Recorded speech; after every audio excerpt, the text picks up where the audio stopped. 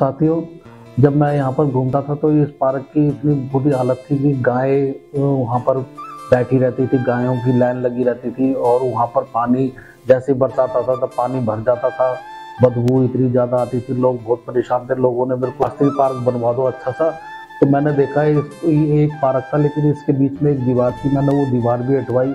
इनकी जो फुटपाथ थी, वो फुटपाथ में हमने दूसरी जहाँ सीधी सीधी बनती, हमने थोड़ा सा घुमाव फिराव दिया कि अच्छा सा, सुंदर सा बने। फिर इसमें एक चिल्ड्रन पार्क भी हमने बच्चों के लिए बनाया। आज बच्चे बहुत घूम रहे हो और खेलते हैं उसमें चिल्ड्रन पार्क में।